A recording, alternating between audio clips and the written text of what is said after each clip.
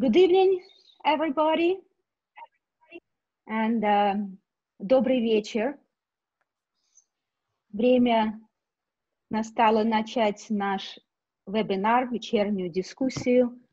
Um, меня зовут Ольга Сезнева. Я перейду на английский язык через две секунды, поскольку язык сегодняшней встречи английский. So I would like to welcome you all, and I would like to welcome the participants uh, to our first discussion in the series of lectures and uh, roundtables or discussions. And today we are talking about the issue of what is the urban normal. Um, I want to say a few words about the organizers of this series. Uh, we are supported by the French uh, Institute, Institut Français in St. Petersburg. We are also uh, supported by a program of urbanism and participation at the European University St. Petersburg. And we are intellectually supported and inspired by a transdisciplinary postgraduate program building the city now. Um, there are the invisible hands uh, behind the screen. Anna Krasnova, she is our MC. She's letting you guys in and make you sit comfortably in your virtual chairs. Um, there is a chat open now uh, where you participants, our audience can pose your questions in a few seconds, I will introduce the speakers, but I just want to say a few words about um, our procedure, how we're going to do this tonight. We prepared three questions, three topics, which five of us, six of us actually, experts at this roundtable are going to take up and uh, talk about we will take about 45 to 50 minutes uh, to discuss these questions.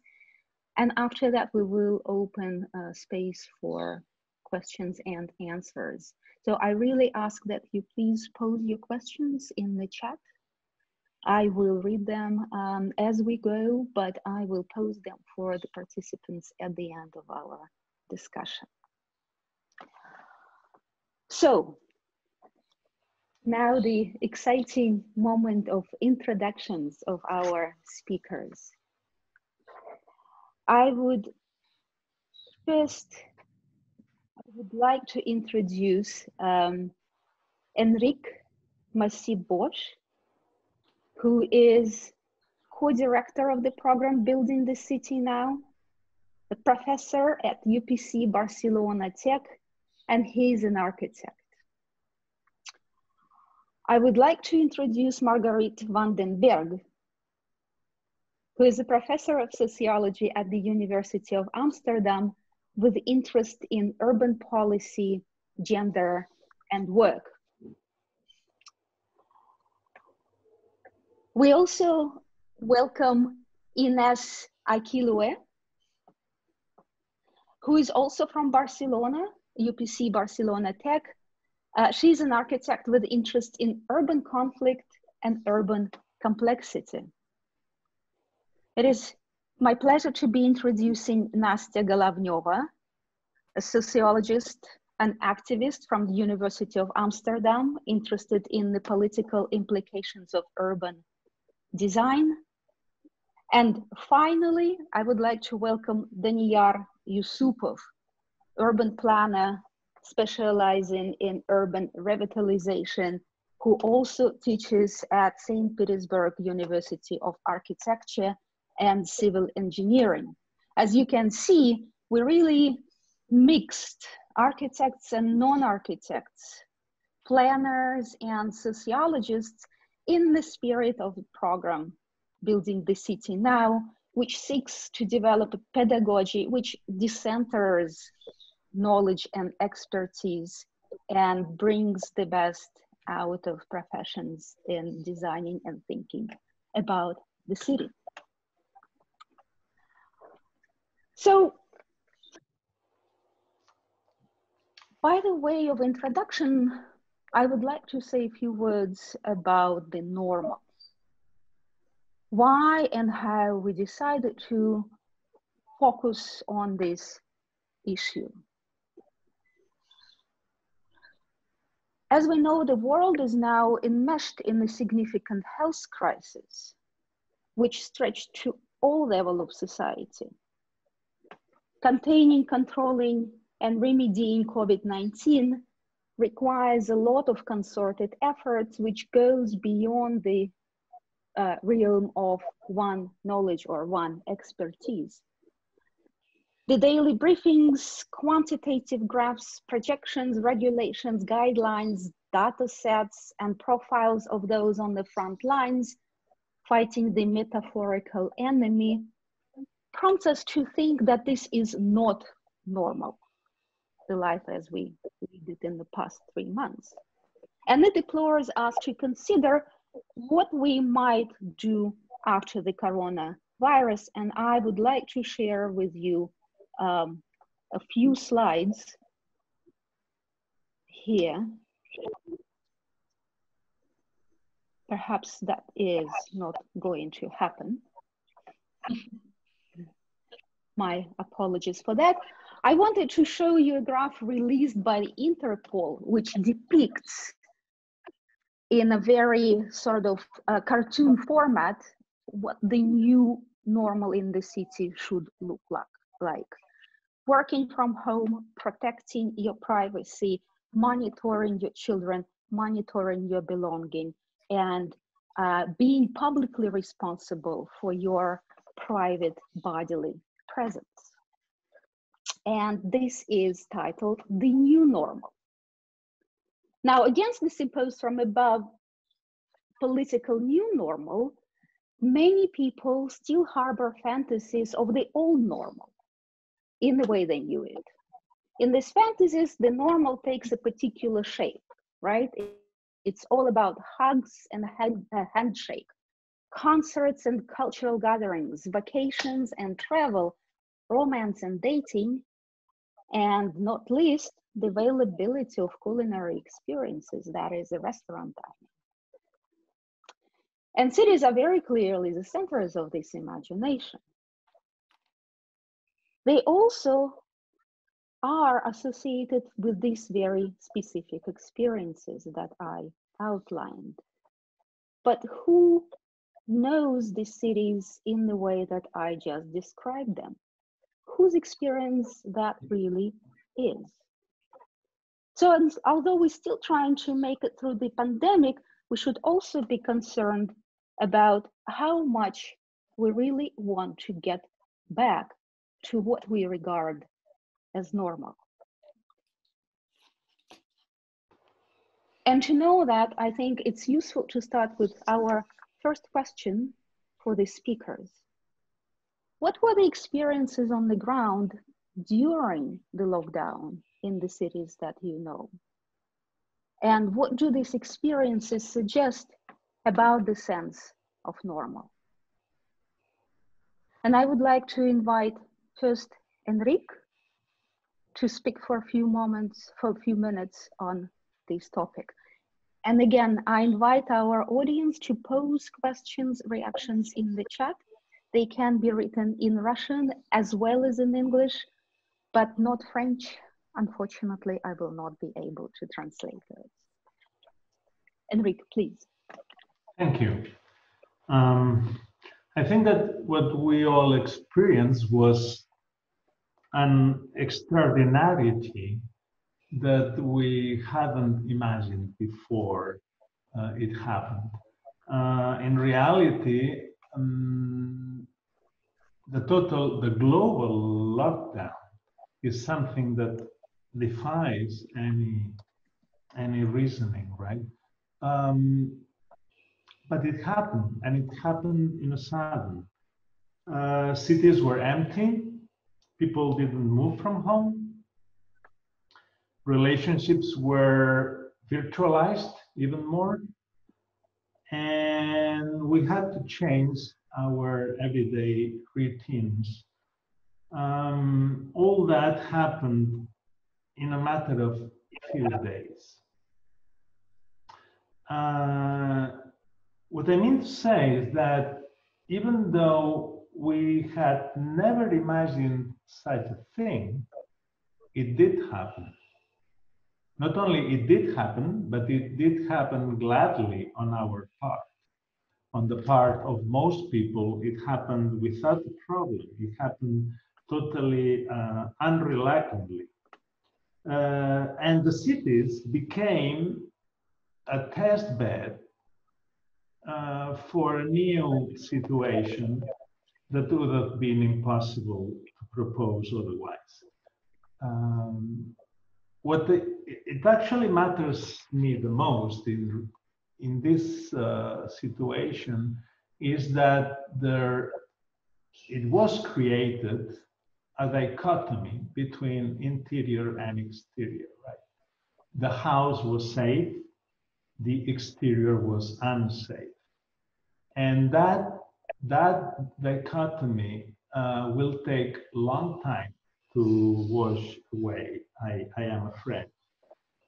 Not only it will take long time to wash to be washed away, uh, and to reconquer public space as a safe space, but it's also a falsity in itself. The interior is as much controlled as the exterior. It is not safe at all. Our homes are not safe. Our homes are not normal. Our homes are the realm of companies and governments. And in this sense, we have to fight as much as we have to fight to get back into the streets, we have to fight for a safer interior in our lives.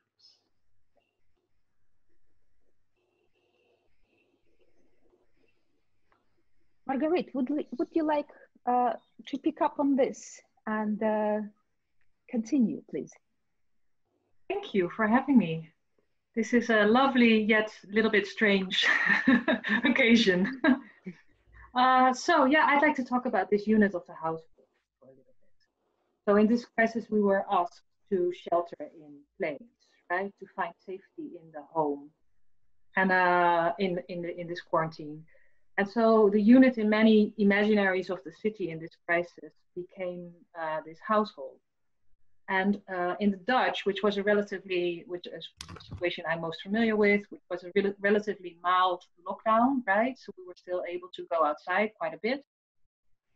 Uh, still, here there was a far-reaching uh, attempt to claim public space and also private space um, and so this household appeared as this shelter, and I'd like to zoom in a little bit and read to you um, uh, the, the, definition that the Dutch government used to uh, to to tell us what a household consists of. So the Dutch are allowed to get closer than 1.5 meters uh, to those in public space or in private space that are part of the same household, which is taken to me to mean, and now I quote, spouses, registered partners, or other life companions and parents, grandparents, and children if they live at the same address. Student houses, communes, and care homes do not qualify as a household.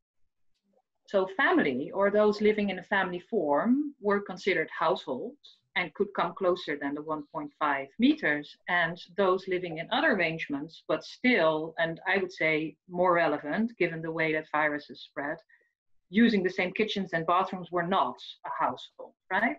So this had quite far-reaching implications, I would say. It's a you know, very deeply heteronormative, and I would say also bourgeois imaginary of the city. And I think also an imaginary of the city that's quite profound, profoundly anti-urban, right? So the city appears here as this collection of households, which are then families, and these families are then uh, also homeowners, right?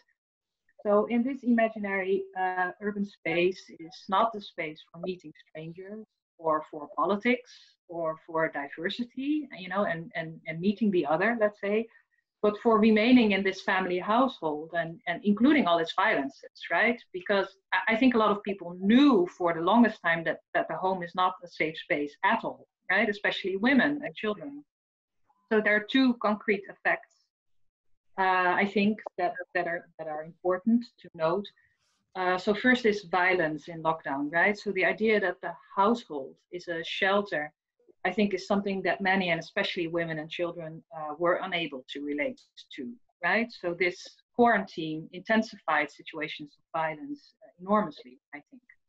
And so in for the for people that experience this at home, uh, suffer this at home, public space is usually an escape space. Um, and this was unavailable now. Um, so that's one concrete effect, I think. And the other uh, is that, um, uh, interestingly, so I just mentioned that student housing was not to be uh, considered a household under the Dutch emergency laws.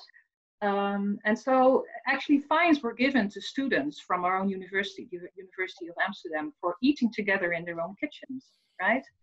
So it was very, very clear, very real effect uh, of this family imaginary of what a household uh, means. An enormous curtailing of freedoms, I'd say.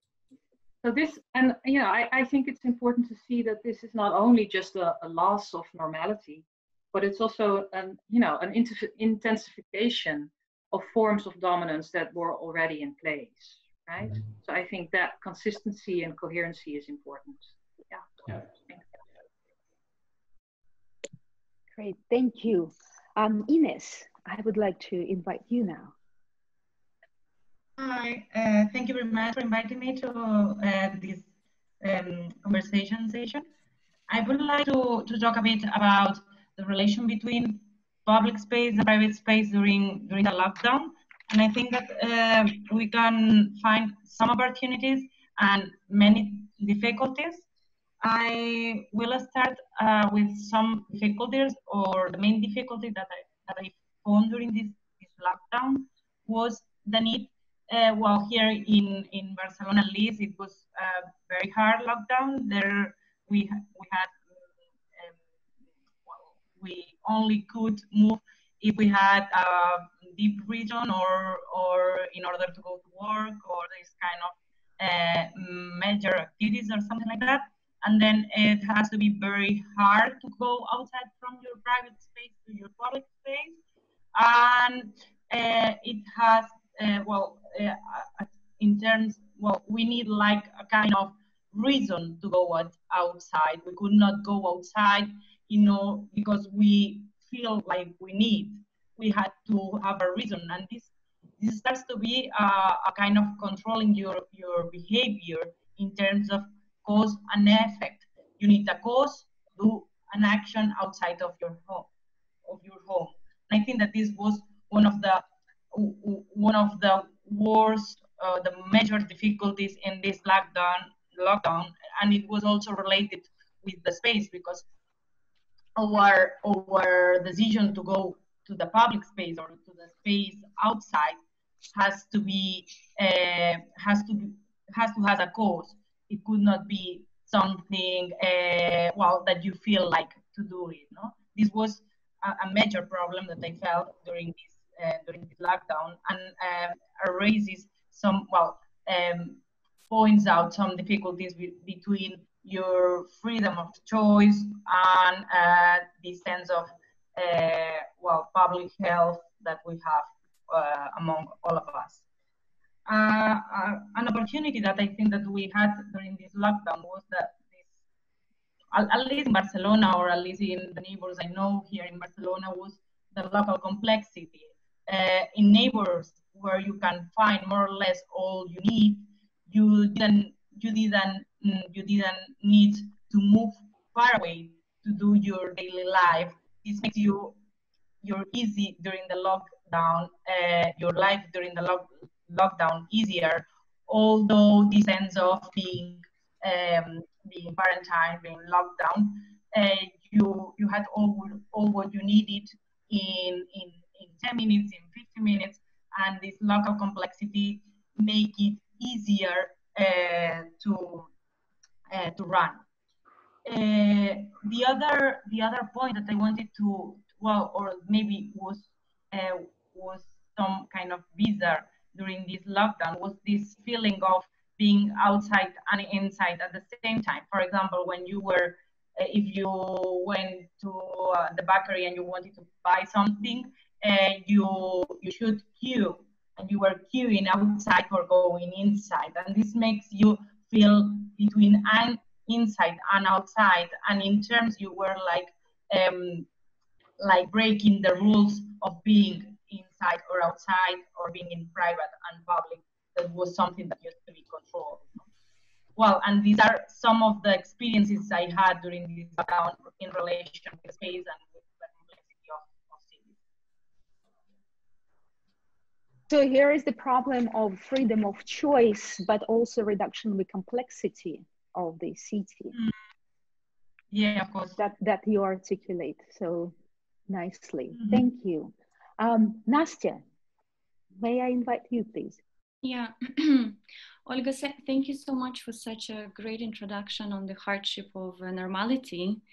Because what I wanted to focus in my contribution was what does it mean to feel normality uh, or the lack of it uh, from the everyday perspective. Because this feeling normality is something that resists quantification, something that states and corporate elites are trying to propose as the basic visualization methods of what happens to us. When I feel about feeling the norm, when I think about feeling the normality, the lack of it, um, I think about the story described by one of my favorite scholars, and it's not directly related to pandemic. But as far as I will tell the story, I think it will become clear what lessons I personally got from it and what we can do with this story. So it was retold by Susan Leigh Star, who has an allergy to onions, uh, a very banal thing. And uh, she described the peculiar situation when she found herself in McDonald's many years ago. And she wanted to order a burger while ordering, remembered that she needed to add a very simple phrase please don't add any onions. She received her order in 45 minutes while observing everyone else getting the order in a lightning speed. In the grand scheme of things, this story of her having troubles, hardships of having onions and receiving her order in 45 minutes is very uninteresting. No one will talk about it as a catastrophic happening, unlike we talk about pandemic. But and Susan Leigh Star also understood it. She used this story in order to notice that particular type of system and infrastructure, such as McDonald's, they cannot deal with anything that is out of the ordinary. And she takes this example in order to say two things. First, it is quite too dangerous to assume that systems such as welfare state or medical care are infinitely flexible because they are made not to be flexible. And second, that there is always a misfit between what an individual can need or want and what the system, which is standardized, can provide. Why I talk about this story is that when I tried to conceptualize what is happening right now in the past month, the story kept coming to me as if what is happening is that we are kind of these people stuck in McDonald's and capable of ordering the food that was provided by fast system of fast delivery, system of delivery of some basic needs. And this is what unites us and Susan Leigh Star because we need to wait and because we realize that the system is not flexible the lack of elasticity of the system is something that paralyzes some action but also thinking. Like as an academic as a sociologist and an activist it is hard for me to think about it and to be clear about it what's going on. And i observed this lack of elasticity in particular to in the case of the country i come from belarus. Um, i'm most familiar with this case even though i'm a movable body that caught pandemic in New York, needed to travel to Amsterdam and have my family and friends in Belarus. There, restaurants, coffee shops, movie theater, everything remained open when European countries announced lockdown. Their churches were packed. People were playing uh, hockey, soccer, having war parades. And um, in this regime, people needed to go to work. In this regime, children needed to go to the school. This autocratic regime, which we see now in Belarus, actually responded with a very dismissive, we have no viruses. But people went to school and to work not because they were not afraid, but because they had no other opportunity to do differently. My parents continued meeting their clients, friends, co-workers, but I also saw that despite of normalizing this life, I've heard a lot of fear in their voices. They were suspicious of people in the streets, the feeling that they never had before. And when we would have uh, conversations about how they feel right now, they emphasize that they don't experience a particularly extraordinary crisis because they have been through so much more already the virus is not special than all the crises they have been through um, and um, actually they tried to make jokes about it and say that we will just take an extra alcohol take a bath in a very warm water and that's what will make us feel better and safe.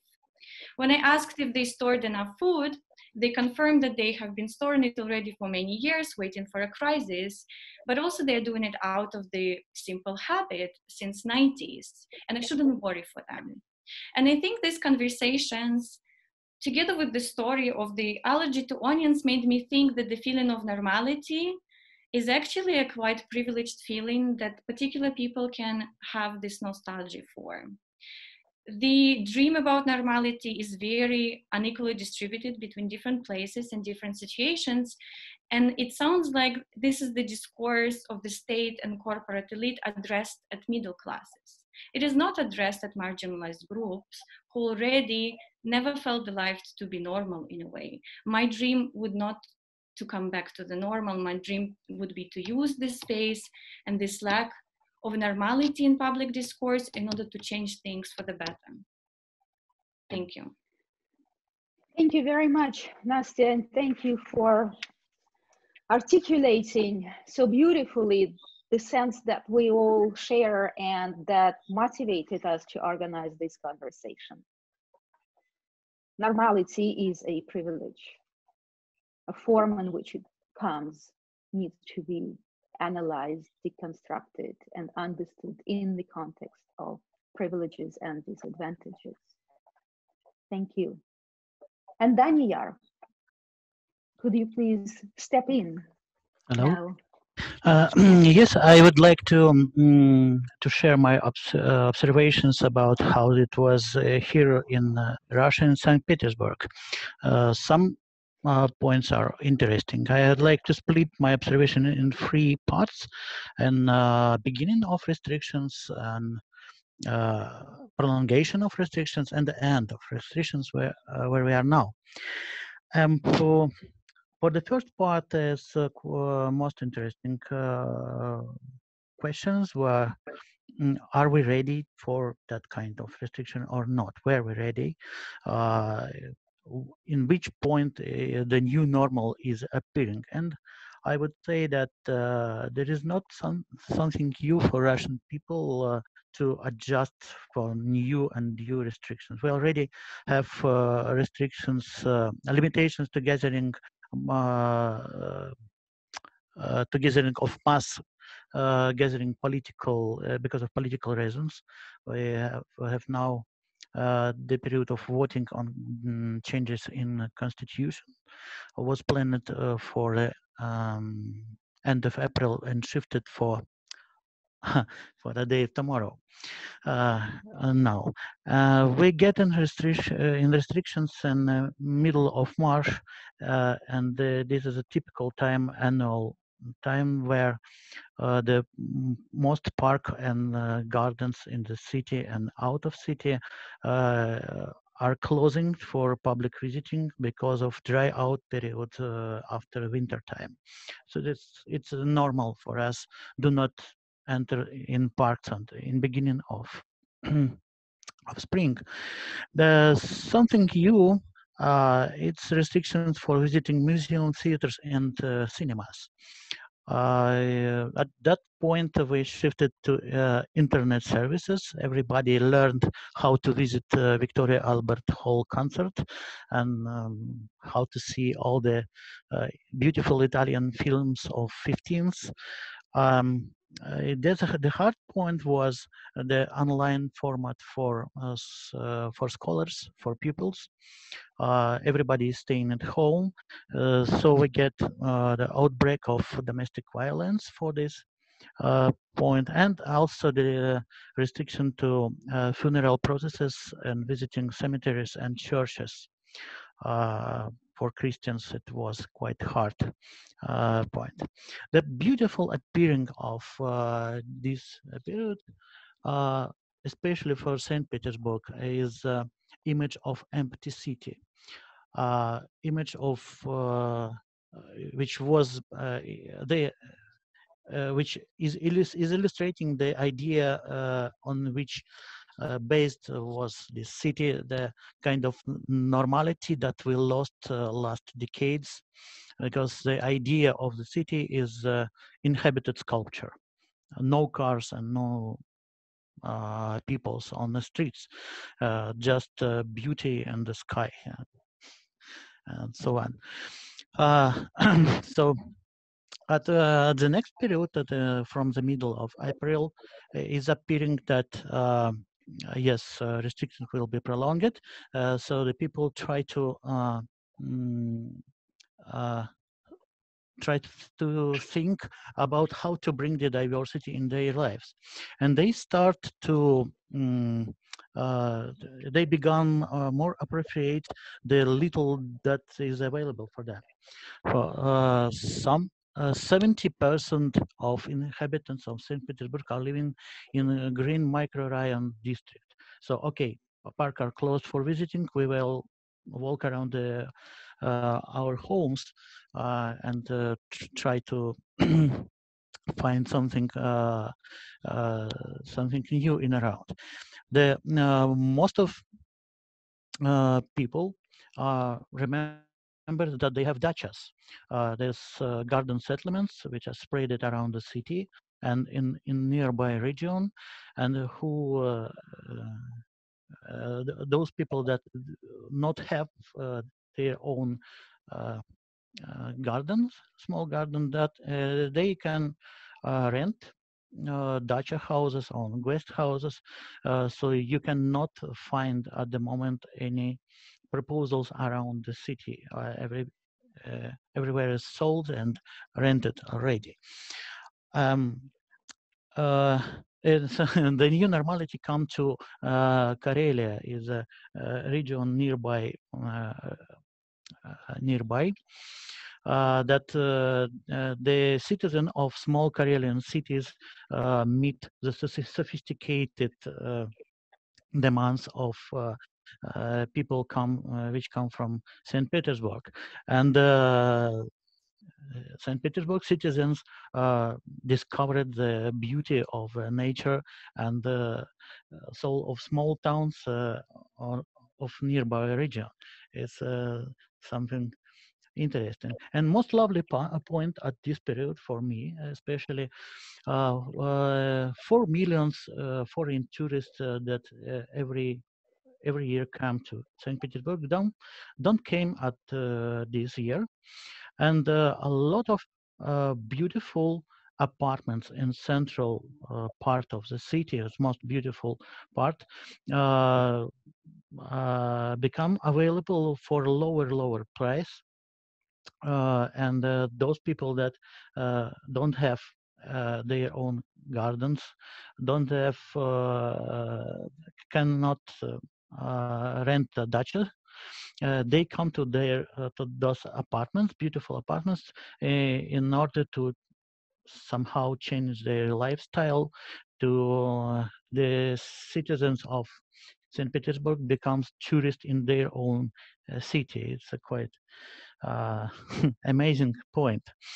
That the next, I'm close to finish. Uh, the next uh, period is the end of restriction, and this is a point which the new normality is forming and coming in.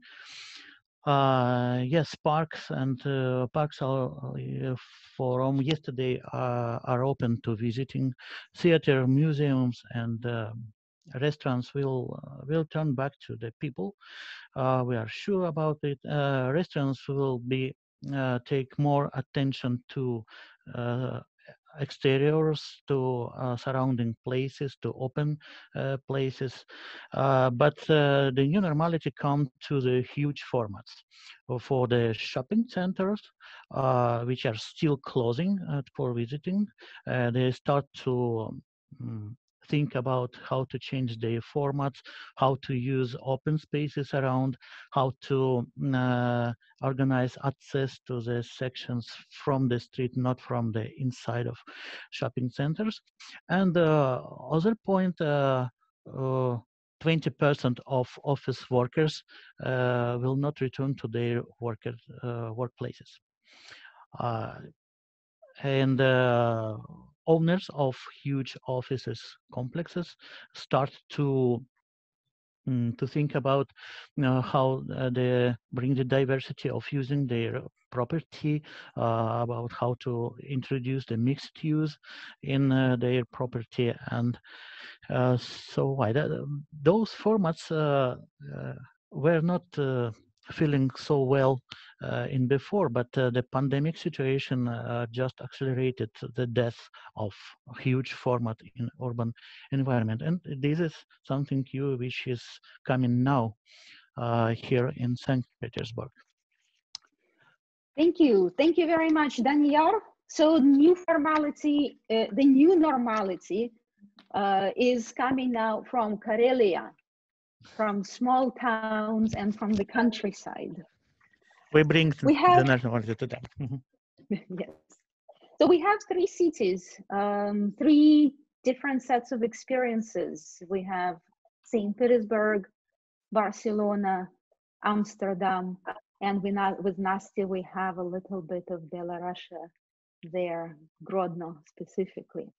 And it seems to me that uh, there are quite a number of uh, problematic points that uh, the pandemic revealed that need to be changing with the coming back to normality. One, articulated so well by Enrique and Marguerite, there is something about home that should not be taken for granted that the pandemic revealed, and something about home and its relationship to public space. So publicity or publicness and privacy um, need to be reorganized and need to be thought about very differently. Um, being outside, being outside was exposed in, in its problematic quality, in its problematic aspect.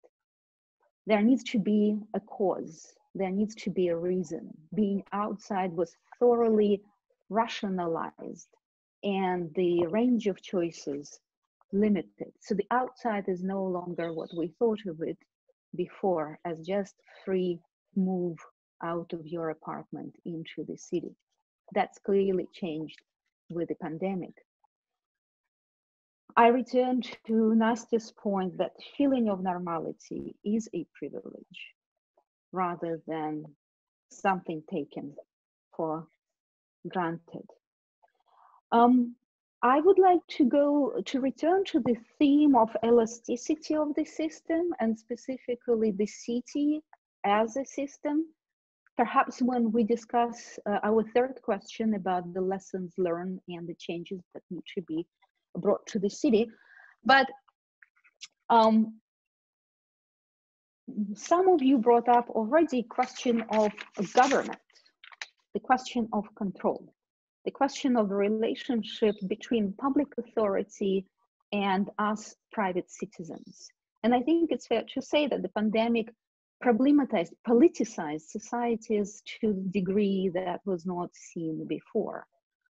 Um, Donald Trump or uh, Lukashenko's uh, dissidents, self-proclaimed dissidents on the corona issue activated certain tendencies. Um, I read about this as a civil society in case of Belarus among citizens. But countries like Hungary, where the parliament dominated by Prime Minister Orban's Fidesz party um, approved a bill granting these government emergency powers without any deadline for those emergency powers being withdrawn or called back. So clearly, governments seize the opportunity, seize the moment to expand uh, uh their uh, purview over citizens' lives. And our sovereignty and our privacy has been compromised. Now, Hungary may be a very obvious example, but I would like to ask you to reflect on the situations where similar contingencies were introduced and normalized in situations outside of pandemic. For example, before it, and the ways in which these governmental interventions, control, authoritative actions became part of our normal. So I would like to call Marguerite on this question. Thank you. Yeah. So um, besides disruption, which I think uh, Nastia pointed out so so very well, I think there's also a lot of consistency actually in, in the responses to this uh, crisis, right? So I think a good uh, so a lot of the a lot of the measures that came in place now as part of this emergency package of, uh, of measures were already to some extent in place or consistent with things that were, were uh, already happening, right? And so I think one of the things that that that are very concrete that we could think about in this in this way is the is the racialized policing that uh, that happens across cities uh, in in the world. And so, for example, under the COVID-19 measures in the Netherlands, you could you could be you could not be together in in public space with more than three people at a time right and so the police could ask people to disperse and to not be there or could even fine people for being there uh, with larger groups the thing is that this wasn't really so new uh, because the police in Rotterdam could already do this under the ban, ban on uh, gathering that the city had instate, in, instated uh, in order to uh, solve all kinds of urban problems that were understood already to be an emergency situation, right? So this could happen already. The interesting thing, I think, is that at, you know when when we think about this particular topic, is that at the same time this this crisis offers an opening to not return to the normal, right? And I would like, just like Nastia, I would like to see it that way. I think that the you know the Black Lives Matter move, movements and protests that we've seen also across the Netherlands and really in in in, uh, in so much larger numbers than I, I I had foreseen, are at the same time questioning these types of policing and and use of authority in public space, right? So at the same time, when we see this use of authority there and, and power, we also see a, a very new and, and much intensified questioning of that. So I think there's also room there to to uh, to have an opening to not return to this uh, to this normal and, and to and to do things differently. So racialized policing. That's yeah. Well, it's, it's just yeah. one example, right? I think one of the things that was really quite heavily disrupted also in this crisis was the was was the you know the the the way in which reproductive labor happens, right? So you know the everyday labor of getting everybody to school and feeding everyone and washing clothes and all that stuff that usually takes place in the in the home for many people at least and now all of a sudden all of our work for our employers had to take place in the same space right and so this was heavily disrupted i think this offers an opportunity so this disruption offers an opportunity at the same time right because it also brings into very sharp focus that we need better housing for our families and, and for everyone right Yeah. Thank you. We do.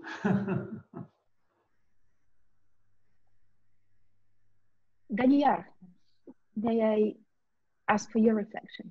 Yeah, um, um, just uh, I just would like to um, to share you uh, a case in Moscow, uh, not here in Saint Petersburg. Oh, God, like us. Uh, because uh, they, uh, the administration of Moscow tried to test uh, the um, application. Uh, so they, they have restriction to you know, don't move from your house from your house more than 100 meters. Uh, and for uh, mass controlling this fact, uh, if you'd like to uh, go out from your house, you have to download and install the app on your smartphone. Uh, name it My City or uh, uh, something like this. And this app is controlling you where you are going, registering you where you are, and uh, automatically uh, uh, get you the penalty if you are out from restriction. You cannot uninstall this app after. They they get the mm -hmm, I, I, don't remember the one digit no, okay, they get a lot of uh, penalties in the first week of uh, testing this beautiful application. Uh, and uh, most of uh, Moscow, Moscow citizens, they they are feeling that it's some points of digital concent concentration camp already came to their life and not disappearing uh, at all. Uh, some uh, some points of new normality already is here. So once once it sneaks into our phones, we cannot get rid of it, and the ominous uh, eye continues the life you, you, you, can you cannot neglecting this uh, this point of uh, this mode of control of your life of your everyday life. Right. Wow. This is a this is a yeah. disrupting point of new normality come to Moscow like yours in St. Petersburg. Okay, that's the new normality. Um, Margaret, I would like to go back uh, to you because I know that you've done work on uh, on the youth uh, in Rotterdam and the ban on gathering in public spaces. Could you say a bit more about that as it happened to become a law well before the pandemic? Yeah, so the the so while uh, Rotterdam is a relatively affluent city, if you compare it uh, internationally, in the Netherlands, it is very much understood as a as a working class city with a very heavy industrial um, history. And the idea is that that in order to move past this industrial history, it needs to change quite dramatically, and safety measures have come into play there. And so the, the story about Rotterdam is very much that the city needs to change very fundamentally if it is to become prosperous ever again. And one of the ways in which it needs to change, it needs to become much more uh, safe and whiter and more affluent uh, across the board. Um, and so this narrative has uh, created this state of emergency in a way, right? Where where politicians and government for the longest time, really, we're talking 20 years or so, have been saying well, well, yes, but the situation in Rotterdam is so very serious. We we we are in a situation where it's actually legitimate to curtail uh, citizens' rights and so on. Um, this is very little debated, and everyone that does try and debate it gets sort of shut up by, by by people that say, well, well, you know, if you if you if you're not for these quite extreme measures, you're just not taking our urban problems seriously enough or you don't know the real problems, right? So this was the situation before, and people like me that are, you know, can be easily be read as white or middle class in the city don't encounter this ban on gathering. I can gather all I want in public space all the time, but it's very clear from research and also from, you know, experiences of especially young men of color in the city that this ban is very real for them and that they are asked to disperse all the time um, and, and, and not allowed just to be in public space with more than two people. Okay. So this the existence of the safety measures actually not a new thing, but the pandemic built upon, uh, added, sedimented uh, what already was part of the governmentality and part of the public imagination about the safe urban space, right? So this actually brings us to our um, third question of, of discussion. Um, as the world continues to fight the rapid spread of coronavirus, confining many people to their homes and altering ways in which we live in the city, think about our cities. Some people are wondering which of these adjustments will endure or should endure beyond the end of the pandemic and what life might life uh, might look like on the other side. And i believe that one of the most pressing questions that urban planners will face in their parent tension uh, between safety and urban life is the question of densification and use of urban space. So the push towards cities becoming more concentrated as a way to promote and improve environmental sustainability and at the same time disaggregation, the separating out of populations, which has been one of the key tools uh, used to hold back the infection transmission, right? So densification and disaggregation and control. At least this is what Richard Sennett recently voiced in his uh, uh, in his interview to the Guardian. So I would like to invite you to reflect using your professional positions, not only your personal knowledge, on what lessons should we take from um, the pandemic what challenge uh, how how can we learn from the challenges posed by the pandemic? And is there a need to design for the future pandemic? And if so how? Or maybe you think that these are not the questions to pose.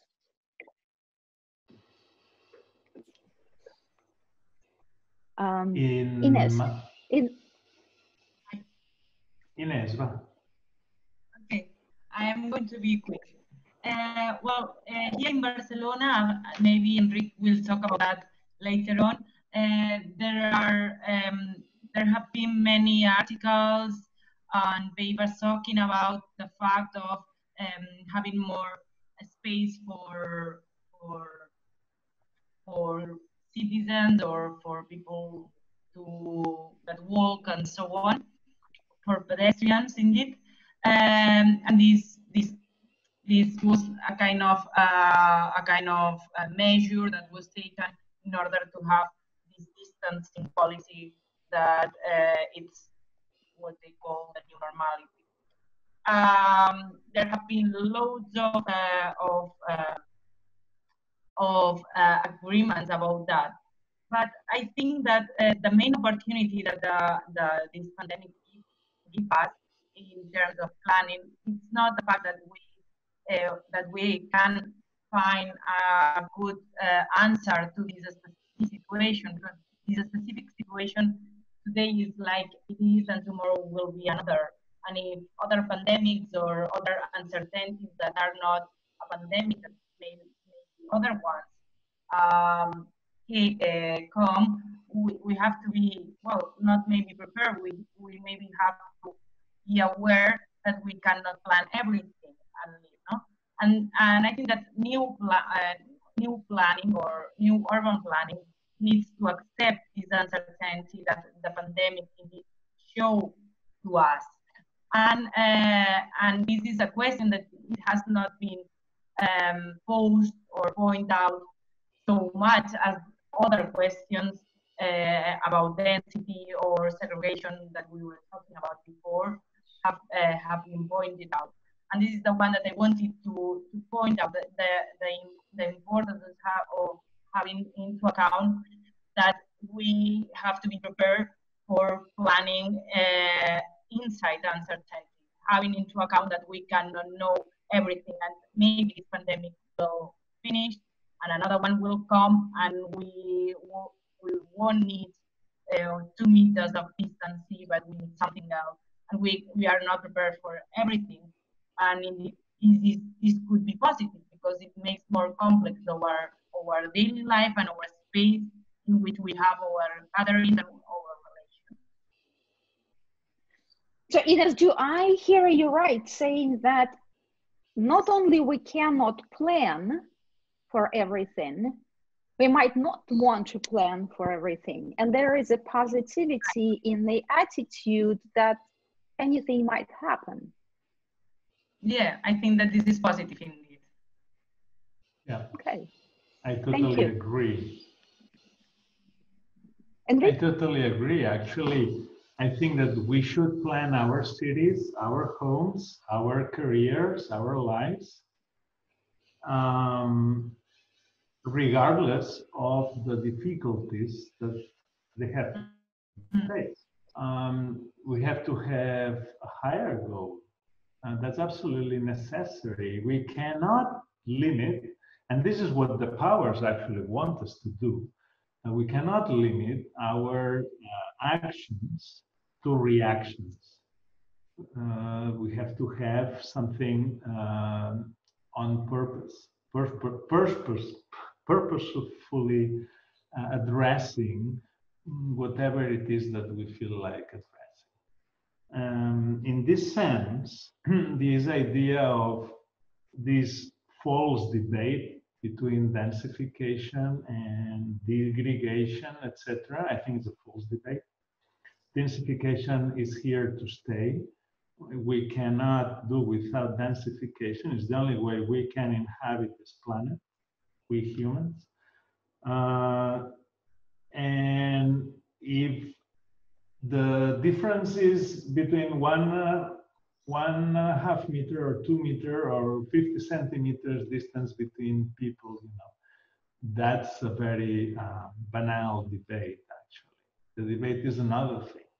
With the, I wanted to stress the fact that in the last two decades, all over the world, there has been a regaining of public space as socializing space all over the world.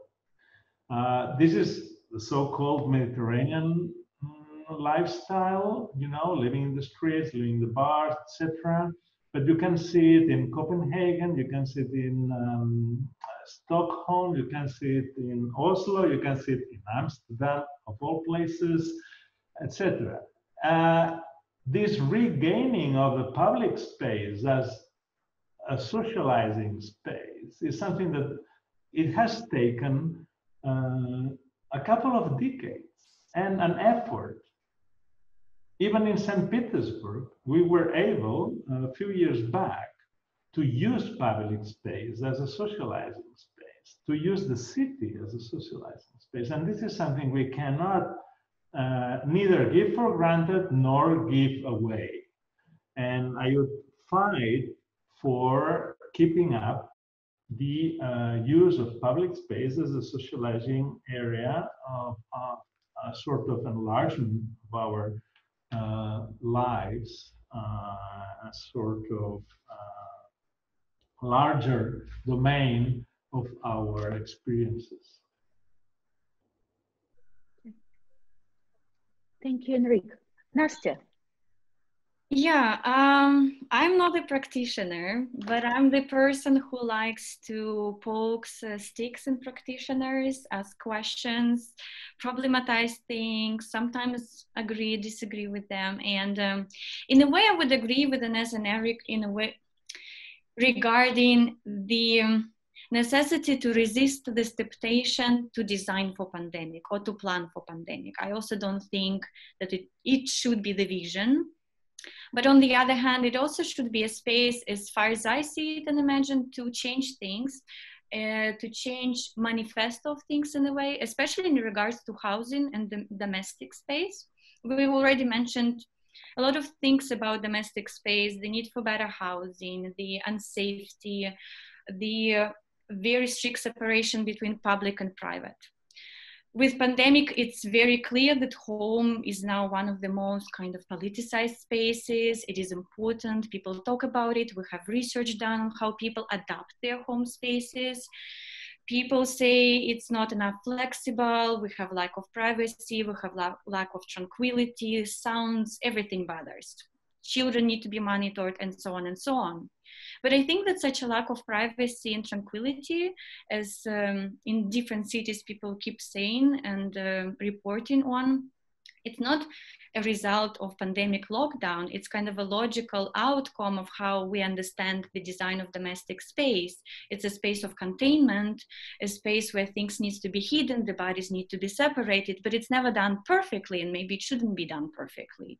So my invitation then to practitioners, architects, designers, planners would be like, let's imagine a new model of domestic space where it's not designed for a monogamous family composed of three family members, and where private and public needs to be separated so strictly, where rhythms and lifestyles needs to be arranged in a perfect machine, but rather that actually architecture of domesticity can allow things to be a little bit, yeah, porous, but not isolating, not containing, circulating sometimes, but not only for families that are normative models of families, but for student dormitories, for refugee camps, for polyamorous families, for extended families. That would be my invitation for the design. Marguerite, would you like to add to that? Oh, I am in, I am in full agreement. Yeah, I think no. So I yeah, I would definitely think that this crisis is an invitation to, to to rethink this architecture of the home, right? Which is a horribly isolating architecture. And and uh, and all women that have been isolated in these homes know this right? So this is the and i think also in terms of the environmental crisis or the or the climate crisis that we're in is just it, we we need to think about our forms of architecture that that will allow for ways of living together that that in which we do not all need our individual kitchens and bathrooms and so on because you know one of the one of the things that made everything so very busy and hectic for everyone uh, that in this crisis that that had to take care of others whether they children or, or elderly people or so on uh, was the fact that we were all you know cooking our own food in our own house in this isolation right? Wouldn't it be just uh, amazing if there would indeed be some circulation as Nastia calls it uh, there and some possibility to share some of these tasks beyond this household. I, I think that that that would be a, a, a wonderful uh, opportunity to take here. And you know, there's a there's an archive in feminist design that we could use for this, right? So we we, we don't have to think of all of this just from scratch. Yeah. We'll ask for um, for a reference, more details um, on that. Um, Dani so what are the challenges and lessons of the pandemic that you think we should learn, we, you as architectural professionals? Yep, mm, I have two points, uh, sorry.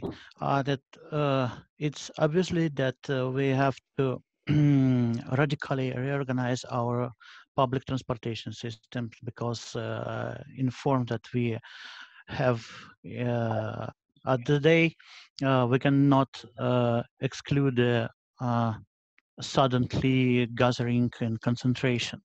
So uh, the technical solutions uh, there are a lot, uh, but we have we don't have still legislative legislative solution for them to introduce that kind of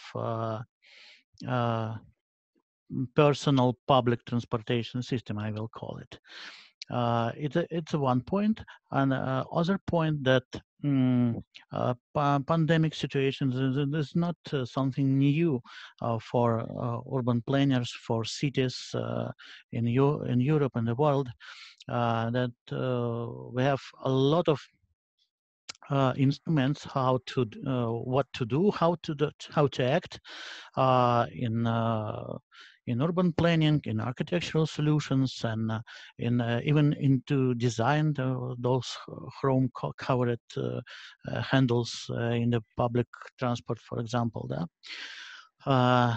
Um, but the the new which is coming uh, uh, now, uh, which this pandemic wave is an infodemic, which which were much more effective than epidemic itself.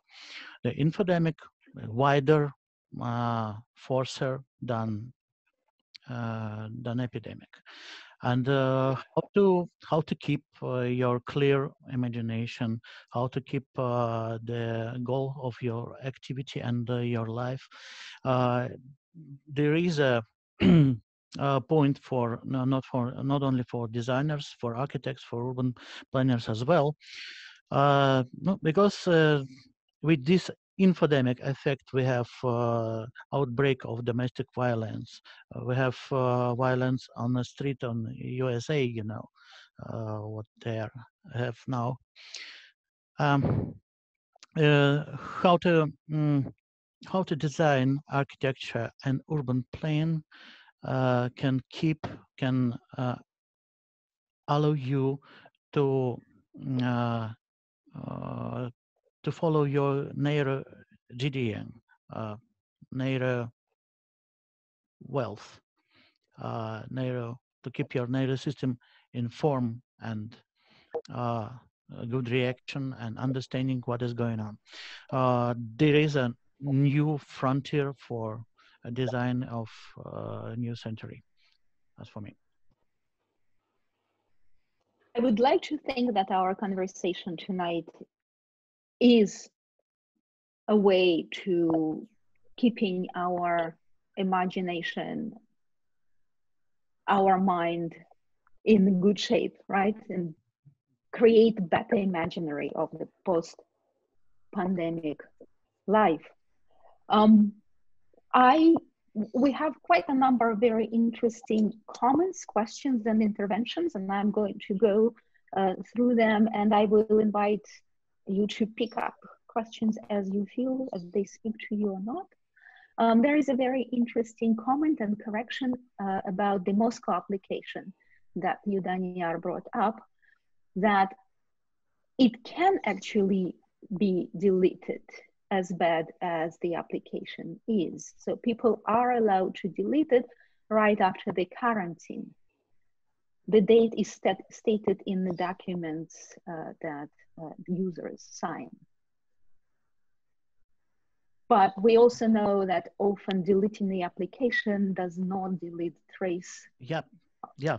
That's a, some part of codes uh, are still keeping in your smartphone and still, uh, and they uh, and they still are working and uh, some and they are getting uh, your data. They are uh, launching those data.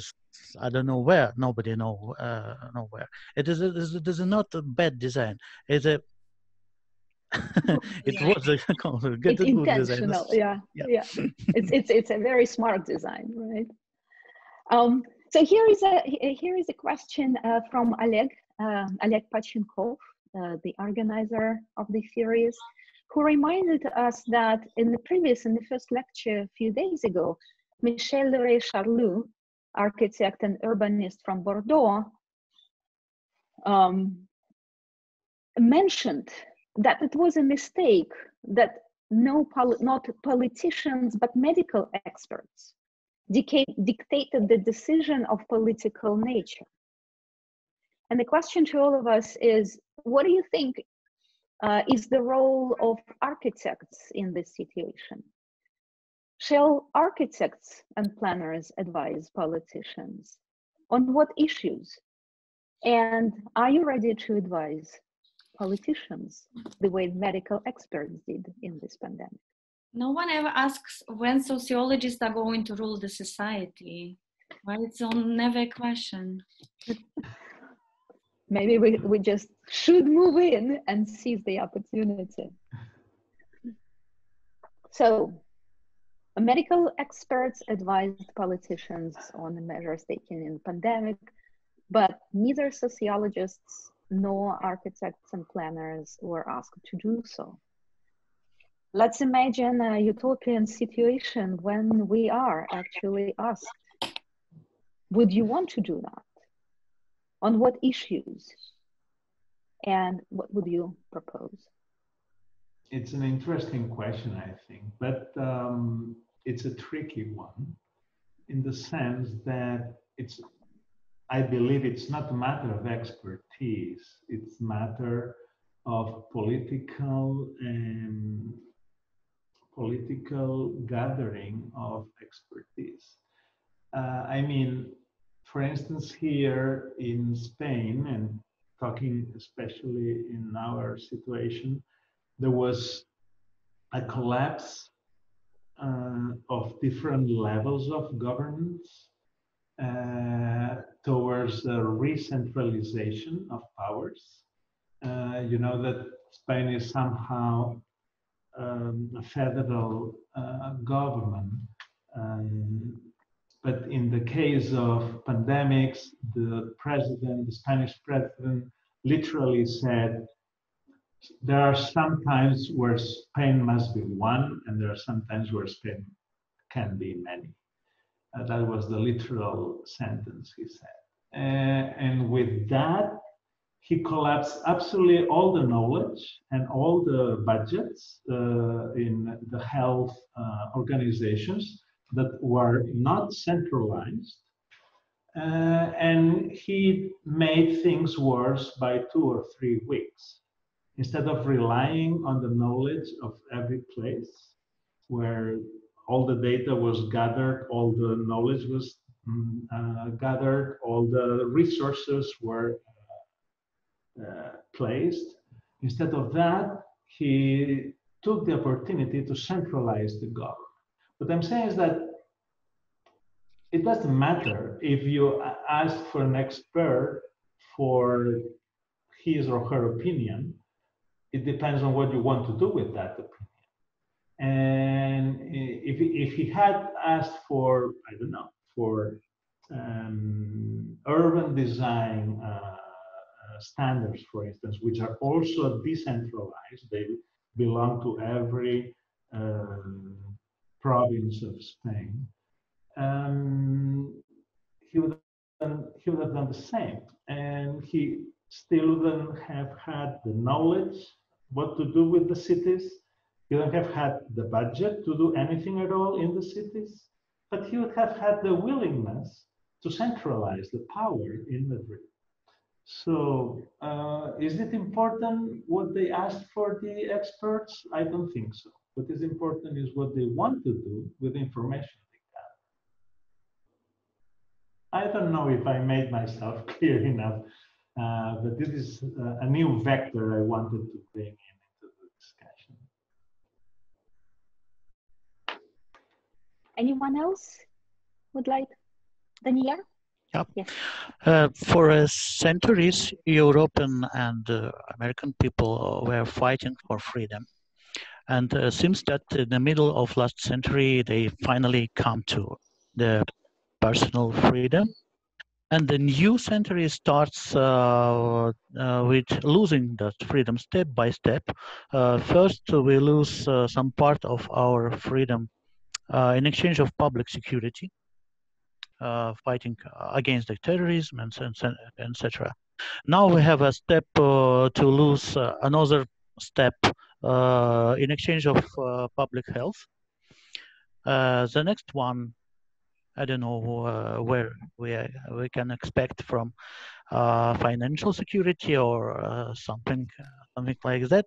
How we architects and urban planners and designer can act in this situation. I don't know. Uh, the the fight for the freedom, uh, not for the for the design. Okay, thank you, Dania. Ines. I like to yeah, I would like to say say something. I I I think that I agree with both of, of, of the other speakers, but I want to also point out that maybe um, the, the, the decisions that have been have been taken have, have been too focused maybe in, in, in public health issues, although not sure if they were also public health issues, as Enrique told us before.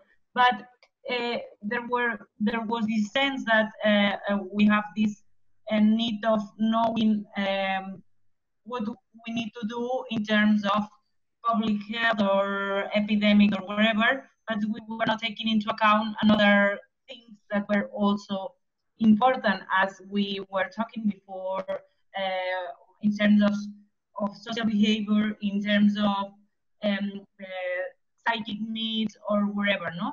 And then uh, we were too focused in one thing and maybe we were not taking into account many others what that we should, and maybe space was one of those things, but there were many others that we were like forgetting only for one purpose. And I think that this is always a bit dangerous in terms of politics and also in terms of planning. Thank you. I think speaking of purposes, uh, there is a really excellent question uh, here. I'll have to uh, make it shorter, but bear with me.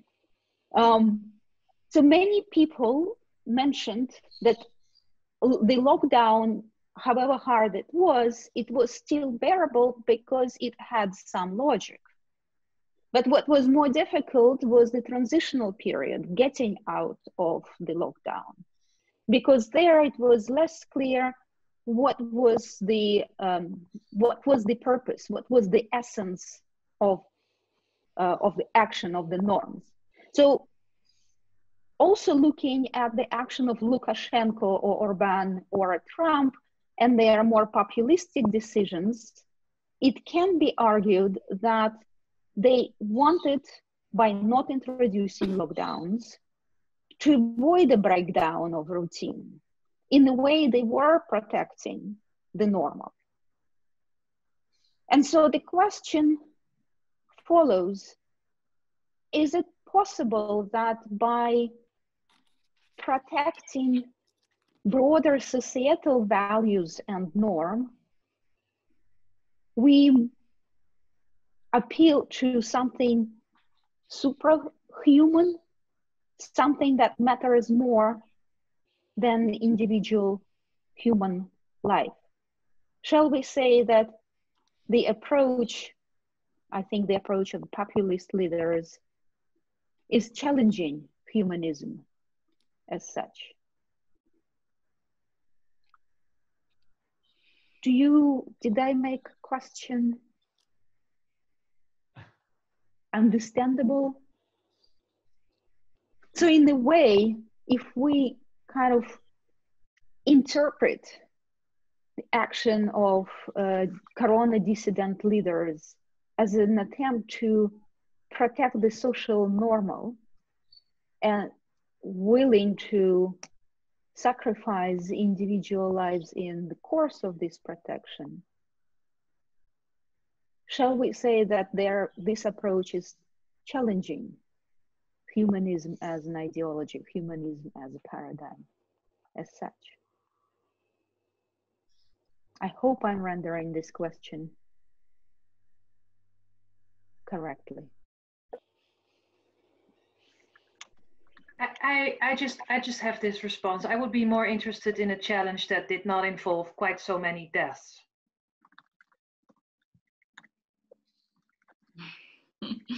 That's a very sharp answer.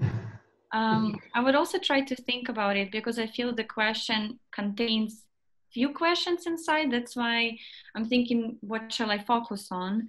The the intention of Lukashenko, Trump, to protect the normal in order to protect people from the crisis of getting out of the lockdown. I'm not sure that's how we should ask the question of these personalized intentions. And I cannot imagine that that was the one. I do agree that indeed decision making during this process involves a lot of discussions on what is a common good, and that's basically maybe what is meant by humanist humanism here, the value.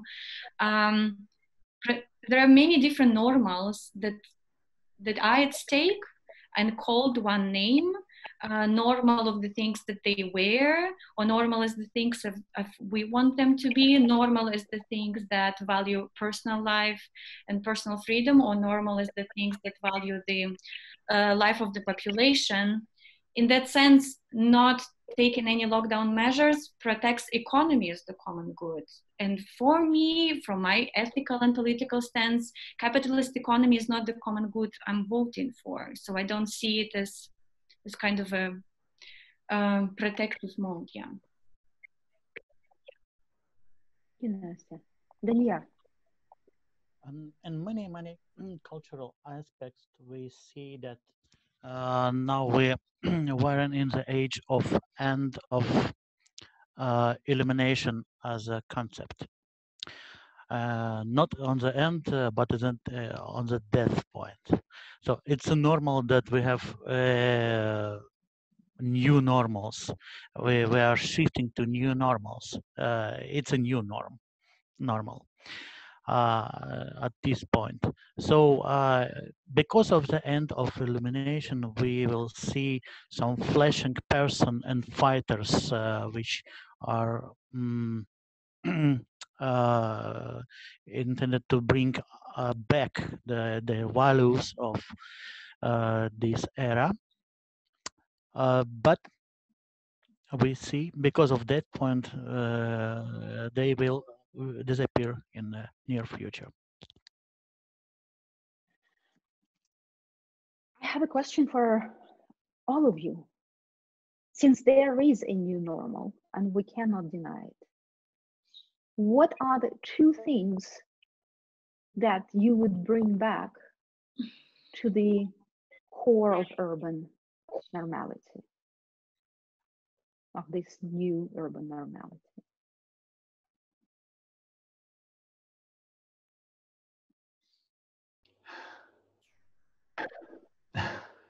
um, I'm not sure there is a new normal, but if you say so, you're the sociologist, so um, I believe you.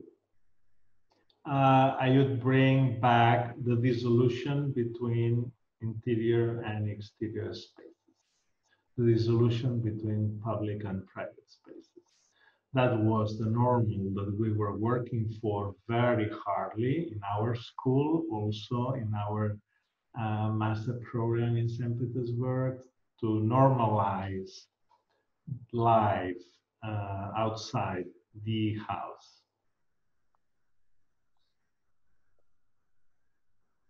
Ines, Nastya? Mm. Well, mm, uh, well I, am not also sure if there's a new normality now, but I would say that uh, I would like to, to, well, yeah, maybe to have a, a kind, a kind of um, empowerment in relation with space that we were fighting for, and we have loosened dur during the lockdown. It, it, looks like our space was not uh, the well, I mean, or at least the public space and open space were not the, the space for gathering or for having like um, um, spontaneous relations. I would like to, to, to gain that again. Thank you. Um, Nastya? Um, I would definitely bring back the collective public gatherings. And in some places, it would mean bringing back something that was already prohibited for quite some time, uh, especially following up on news in Russia and pro feminist protests, um, in which um, a lot of protesters were arrested for even individual pickets like the queuing that people do now because they are prohibited of gathering together. Um, this thing is, a, is the basic necessity for urban life for me in the authoritarian regimes in particular so that would be my dream. Okay. The gathering the crowdness the collectivism mm-hmm. of the city. Thank you. Marguerite yeah, for, for me, I, would like to bring back life, right? So urban life in the sense of of uh, of meeting others and not just the people that are are are that with which you have some sameness, right? So to people that are from very different walks of life, I'd like to meet them and come closer to them than we've been able to in the in these past few weeks. Yeah. The value of difference, the encounter with the different. Thank you. And then Yar. Mm, uh, I would like to bring back uh, cheap and fast uh, trans-regional travels and allowing to gather with my students in small groups and uh, whenever we they would be good. I would like to bring back us sitting around the table, talking face to face, seeing our audience, Luba, Vadim, Yulia, Oleg, Lilia, all the friends who are there and not friends but who still are there, it would be a really now wonderful luxury to be together and to be in one space. Mm. I think it is clear that cities once again are being thrust into public attention, into new political imaginary and the new everyday imaginary, as they always been throughout the 20th century. In that regard, the 20th century is no different. And I hope that the conversation this evening helps us together as an urban collective to sharpen some of the ideas and the tools for realizing them for better urban normality.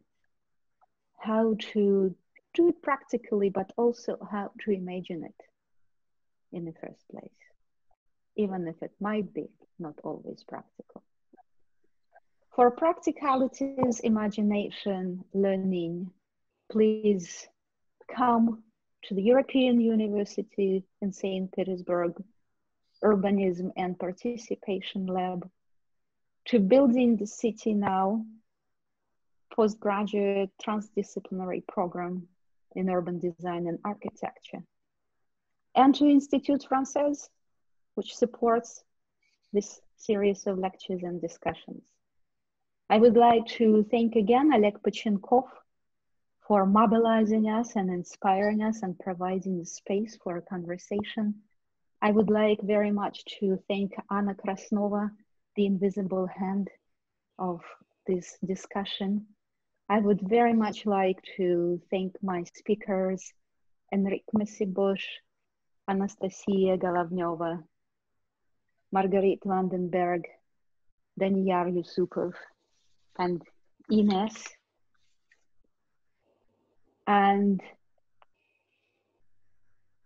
I would like to thank everybody who joined us in this chat for a conversation and posed questions and provoked our thinking and conversation. Thank you all. Please stay tuned. There is one more uh, table discussion within the framework of this series taking place on the 6th of May. It will be moderated by Oleg Pachenkov. Меня зовут Ольга Сезнева. И я была очень рада встретиться с вами, быть с вами и вести эту дискуссию. Спасибо большое всем. Я закрываю сессию. Всего доброго. Thank you, Olga. Thanks. Thank, Thank you, you very much. Bye. Bye.